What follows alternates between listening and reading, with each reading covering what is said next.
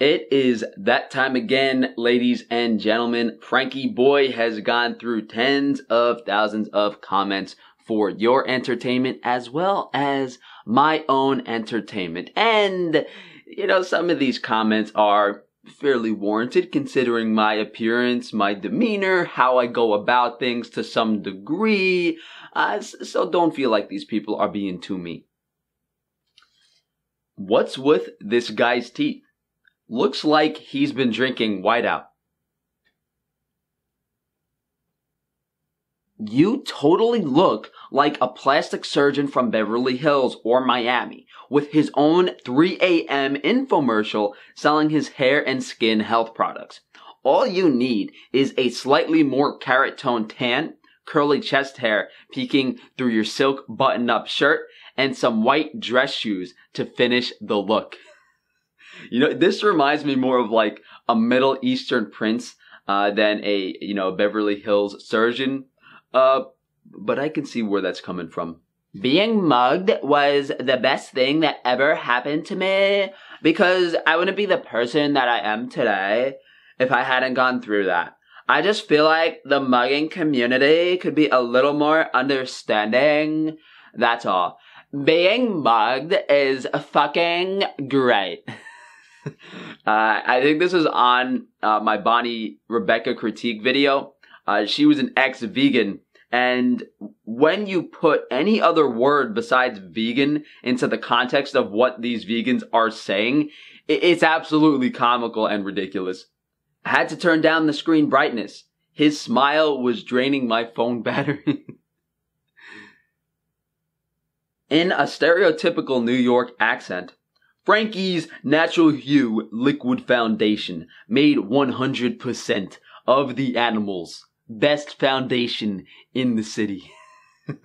uh, for those of you guys who don't know, uh, there is an ongoing joke that I wear makeup and I do make my own hygiene uh, products like moisturizing cream, lip balm. But boys and girls, if I if I could do makeup, I would have been James Charles.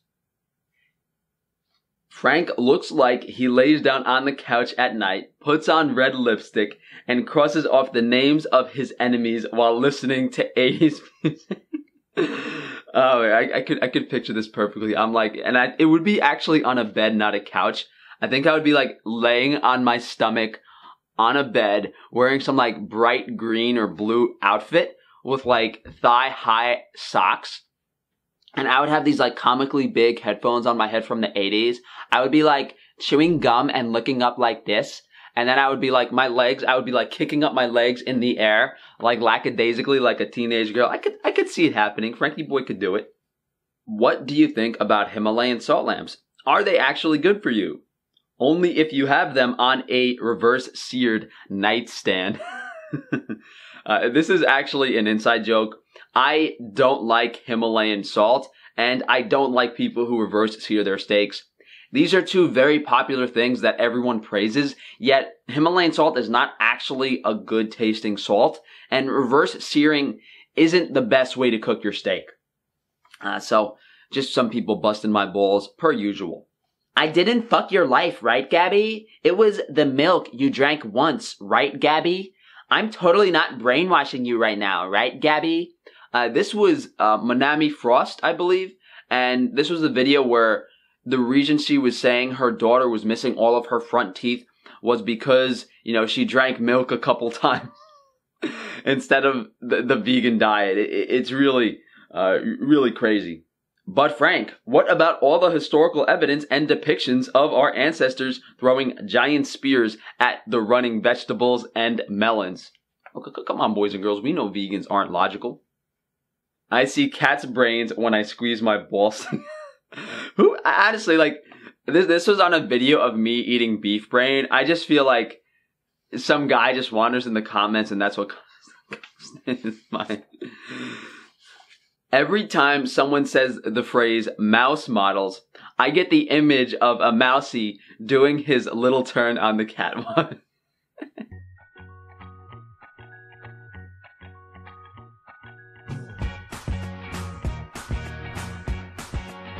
more like Staten Island. Uh, I've been doing a few videos covering some New York related stuff uh, from Meatless Mondays to the hot dog ban. Uh, so very fitting. Staten Island. Uh, statins are a, cholesterol lowering heart medication. Uh, for those of you who don't know.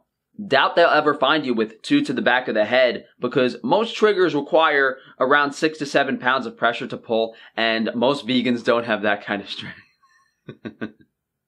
Do you masturbate to yourself while your teeth whitener and hairspray dries?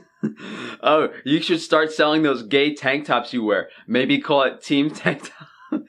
What's so funny to me about this is like this guy had no intention of being funny. He he he was actually trying to insult me. Frank, you should do a bikini try on haul. this is on this is probably my favorite comment on on on this whole video. Uh if you got I don't know how many views or how much I would have to get paid to do this, but uh we'll see. Cacao can be quite stimulating. Are you sure it's not the modest 600 grams of sugar that's in the 20 dates you just used for that mint shake? Uh, there was a Freelee the Banana Girl video where she made, uh, you know, a smoothie with like 20 dates, which are incredibly high in sugar, and put a little bit of cacao powder in it. And she was saying the cacao was the stimulating part of the smoothie. Shaggy looks like he wants a Scooby snack. this is on me.